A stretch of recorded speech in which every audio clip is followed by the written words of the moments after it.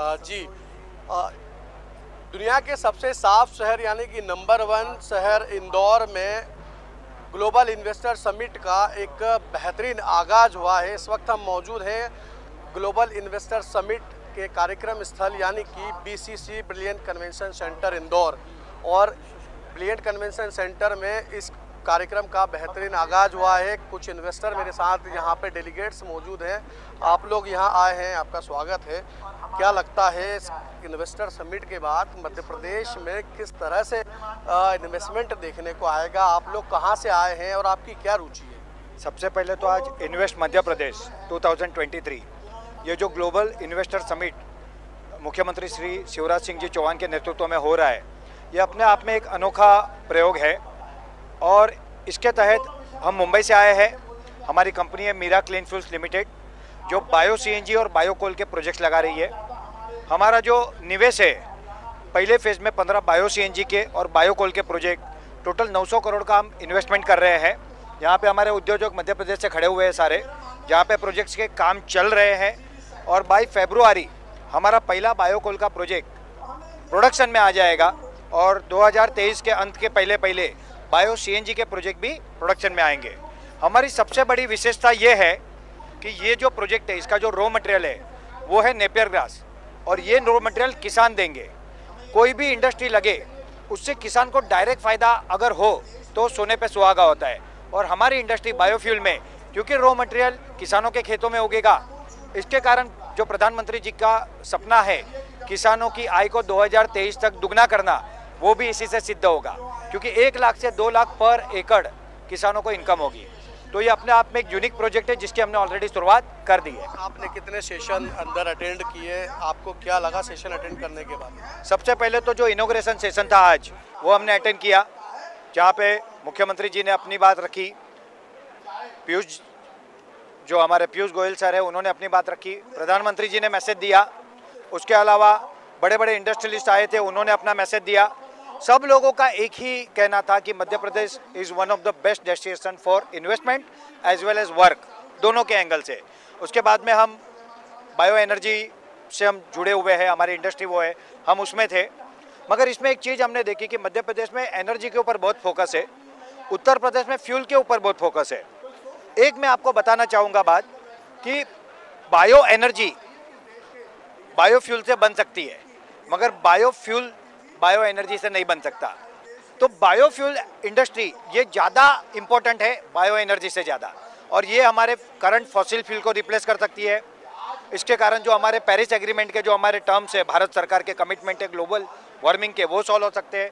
Employment से लेके economical सारी चीज़ों में विकास हो सकता है। आपने जैसे बात की शुरुआत की कि हम 900 करोड़ रुपए का इन्वेस्टमेंट करना चाहते हैं ये तो रही आपकी बात। हज़ारों की संख्या में यहाँ पे डेलीगेट्स इन्वेस्टर आए हैं देश के अलग अलग हिस्सों से आए मध्य प्रदेश में इन्वेस्ट करने की एक, एक अपना मन लेके एक सपना लेके आए आपको क्या लगता है इस पूरे कार्यक्रम में कितना इन्वेस्ट जो है होगा और क्या अंदाज़ा लगता है आपको कि कहाँ तक का इन्वेस्टमेंट यहाँ देखने को मिलेगा? इंडस्ट्री मिनिस्टर ने जब अपना समापन भाषण किया उन्होंने बताया कि 500 से अधिक उद्योगों, उद्योजकों का, फैक्ट्रियों के लिए और बाकी चीज़ों के लिए उनको आवेदन मिला है। अभी सबके कितने थे वो तो मुझे अंदाज़ा नहीं है, मगर अगर छोटे बड़े भी मिलाए तो मेरा मानना है कि पचास हज़ार करोड़ से एक लाख करोड़ का निवेश तो आराम से होना चाहिए। और ये अपने आप में एक बहुत बड़ा अचीवमेंट होगा। मध्य प्रदेश के युवाओं को रोज़गार मिलेगा, यहाँ पे विकास होगा और सब तरह से मध्य प्रदेश फूलेगा फलेगा।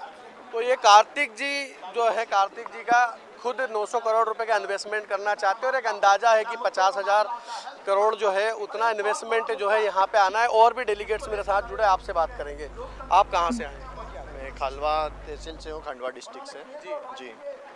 तो किस सेक्टर में आप काम करते हैं यहाँ पे आए हैं क्या अब आगे की प्लानिंग है? हम लोग बायो एनर्जी में ही वर्क कर रहे हैं बायो सी सीएनजी मैन्युफैक्चरिंग की फैक्ट्रीज लगा रहे हैं तो सर ने जैसे बताया कि हम लोग एम में भी वर्क कर रहे हैं कर रहे हैं और आने वाली छब्बीस जनवरी को हमारा प्रोजेक्ट भी स्टार्ट हो जाएगा एम का खालवा तो बायो एनर्जी और एम कोल को लेकर इन्वेस्टमेंट की बात जो है आपने की है आप बताइए कि आप इस कार्यक्रम में आए हैं ग्लोबल इन्वेस्टर समिट में आपने पार्टिसिपेट किया है क्या आगे की रूपरेखा रहेगी? जी, सबसे पहले मैं धन्यवाद देना चाहूँगा मध्य प्रदेश सरकार को, माननीय मुख्यमंत्री जी को, जिन्होंने ये इतना बड़ा प्लेटफॉर्म और इतनी सारी सुविधाएँ इन्वेस्टर्स को दी है, ताकि हम भी मध्य प्रदेश के इन्वेस्टर्स हैं जो जॉइंट वेंचर में मीरा क्लीनफील्ड लिमिटेड जो हमारी मुंबई बेस्ड कंपनी है, उसके साथ जुड़ कर के हम बायो सीएनजी और बायो फर्टिलाइज़र और बायो कोल का हम प्लांट लगा रहे हैं। इसमें हमारे देश के, हमारे मध्य प्रदेश के किसानों का सबसे ज़्यादा फ़ायदा होने वाला है, क्योंकि हमारे जो फैक्ट्रीज़ में बायोफ्यूल बनेगा, वो, उसका जो रॉ मटेरियल है, वो हमारा अन्नदाता, हमारा किसान देने वाला है।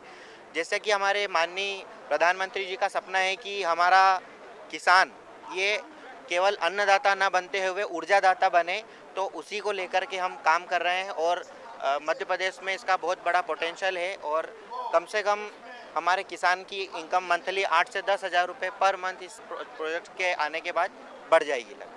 तो ऊर्जा के सेक्टर में बात कर रहे हैं कि ऊर्जा का सेक्टर जब फलेगा फूलेगा तो कहीं ना कहीं किसान की अन्नदाता की आय जो है वो बढ़ेगी। और भी कुछ लोग मेरे साथ मौजूद है आप बताइए जी। कि ग्लोबल इन्वेस्टर समिट के क्या परिणाम आगे देखने को मध्य प्रदेश के लिए ये ग्लोबल इन्वेस्टमेंट समिट का तो बहुत ही बढ़िया रिज़ल्ट आने वाले हैं क्योंकि अभी आज जब हम अटेंड कर रहे थे पूरा समिट तब एक बात हमें वहाँ पे पता चली कि यहाँ पे जो एम्प्लॉयमेंट जनरेट करने जा रहे हैं वो सिर्फ़ एक महीने भर के लिए, एक साल के लिए जनरेट नहीं होना चाहिए। वो सस्टेनेबल होना चाहिए। वो बहुत महत्वपूर्ण है और जो निश्चितम लेवल तक वहाँ पे पहुँचना चाहिए। जो भी एम्प्लॉयमेंट जनरेट होगा तो उससे गाँव के लोगों को और इनको सर को उन्नति मिलेगी, उनकी आय बढ़ेगी तो ही अपने सोसाइटी का हम भला कर सकते।